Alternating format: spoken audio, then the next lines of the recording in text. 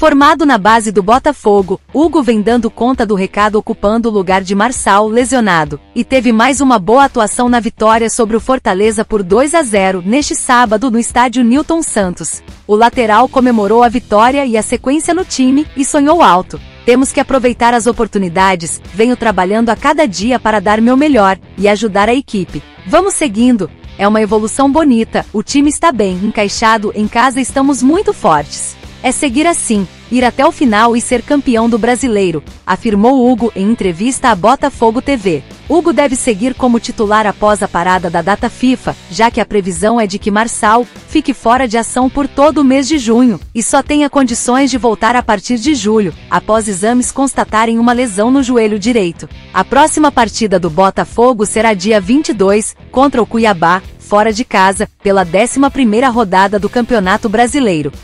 Compartilhe sua opinião nos comentários. E se você gostou do nosso conteúdo, não se esqueça de deixar seu like, se inscrever no canal e ativar o sininho para não perder nenhuma novidade sobre o Glorioso.